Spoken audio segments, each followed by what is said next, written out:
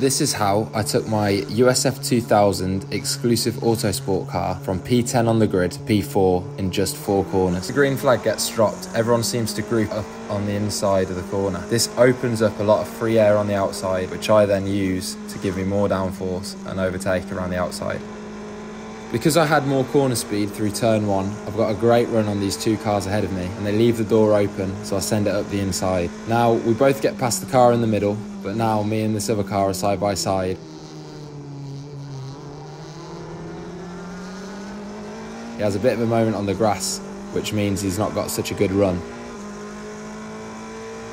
Now I've got a really strong slipstream and he covers the inside, so I go to the outside, but that gives me the slipstream from the cars ahead of him.